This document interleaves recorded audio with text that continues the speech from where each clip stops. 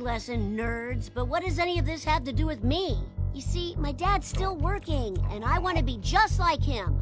I'm sure you do, but there's something else you need to learn. And my friend here is happy to teach you. Oh, you. For days you've been dying to say something. Just spill it.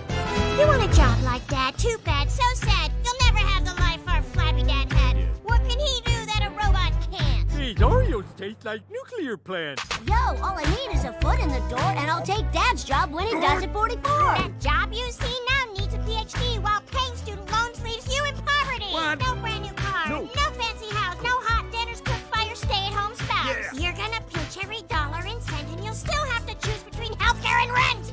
I'll probably just buy a PlayStation 6. You're naive, but it'll